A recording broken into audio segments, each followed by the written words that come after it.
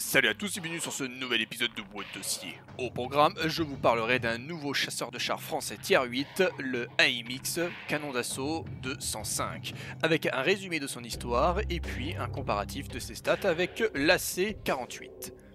La société AMX, en parallèle de la compétition avec d'autres entreprises pour concevoir le prochain char lourd, était également sur un projet de canon d'assaut face à la société Lorraine. Le plan de notre char fut terminé le 2 mai 1950 mais une version améliorée de celui-ci, avec notamment un canon de 120 mm, fut également étudiée. Au final, aucun des deux plans furent utilisés. AMX préféra récupérer la caisse de l'AMX 50 pour concevoir son canon d'assaut, le Foch. On va passer maintenant à la partie caractéristique où je vais comparer les données de notre AMX CA105 à celles de l'AMX AC48. On peut voir que déjà au niveau des points de structure, il y a une égalité parfaite. Les deux ont 1000 points de structure chacun. Ensuite, notre CA105 est beaucoup plus léger, hein. il fait à peu près 27 tonnes contre 59 tonnes pour notre AC48.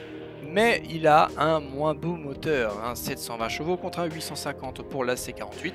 Cependant, son faible poids va lui permettre de développer une puissance massique supérieure à celle de l'AC48 de 10 chevaux par tonne de plus que euh, ce que peut proposer la C48 et donc ça veut dire qu'il démarrera beaucoup plus rapidement mais aussi atteindra sa vitesse max qui est de 55 km/h plus rapidement que les 50 km/h qu'offre la C48. Au niveau du mouvement du canon, parce qu'il y a un petit débattement quand même, il est légèrement plus rapide de 27 degrés par seconde contre 26 degrés par seconde pour la C48, donc c'est pas grand chose. Et au niveau de la rotation du châssis, elle est égale pour les deux, 28 degrés par seconde. Pour le blindage, nous avons un avantage pour l'AC48 qui a 150 mm de blindage, en plus d'offrir un blindage acquiné pour augmenter la valeur effective. Il est quand même assez robuste de face comparé aux 100 mm de blindage du CA105, même s'il offre quand même un blindage acquiné, c'est beaucoup moins. Cependant, on peut noter qu'il est beaucoup plus petit, enfin il est moins haut que l'AC48 et surtout il a un weak spot moins proéminent euh, devant que l'AC48. En plus, il est aussi plus court que notre AC48 euh, par rapport euh, à ses dimensions. Au niveau de la portée de vue, un petit avantage pour la C48 qui a 10 mètres de plus, 370 mètres au total pour la C48. Et la portée radio, elle est égale pour les deux du 750 mètres. Pour le canon, nous avons donc ben, pour le CA, euh, pas étonnant, un 105 mm CN105. Et pour la C48, j'ai pris son canon élite, le 120 ACCSA 46. Alors j'ai pris le 120 car vous allez vite comprendre pourquoi. Puisque le 105 mm K, le, l'AMXA, c'est tout simplement... Euh, les mêmes dégâts que peut faire un AMX 1305, un AMX 30B ou un Batchat 25 tonnes. Il fait en dégâts alpha du 390 en normal et en premium contre du 400 en normal et en premium pour le 120 mm. Alors on a une grosse différence au niveau du calibre de l'obus, mais le 105 est quand même assez performant puisqu'il fait quasiment autant de dégâts que le 120 mm de la C48. Au niveau de la pénétration, nous avons un avantage pour le bus standard, pour le CA105 avec 260 contre 257 pour l'AC48.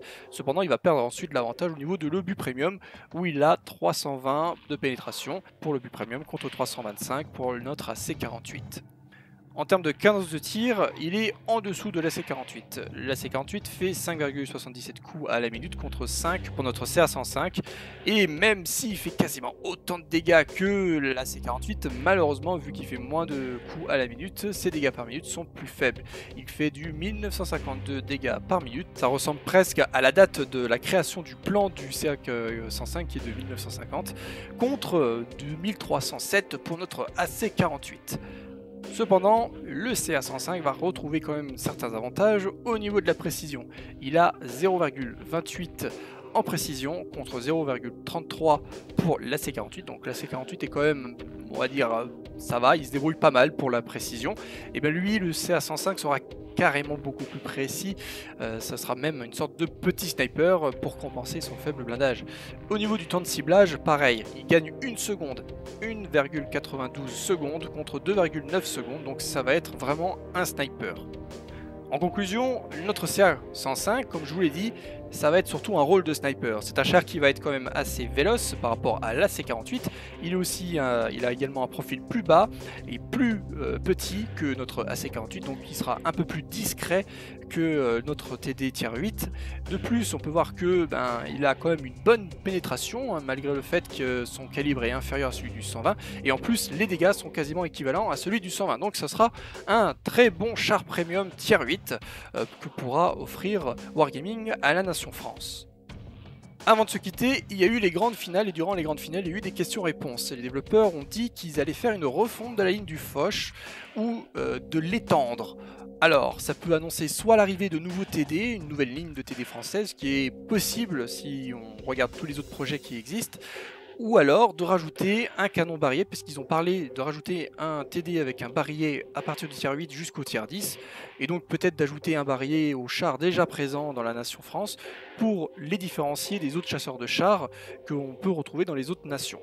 Donc on va voir, peut-être que ce premium là, la Mix CA105, va annoncer l'arrivée d'une nouvelle, de nouveaux chars standards euh, chasseurs de chars français ou d'une refonte des tiers 8, tiers 9 et tiers 10 actuels. Sur ce, bonne journée, salut à tous et à une prochaine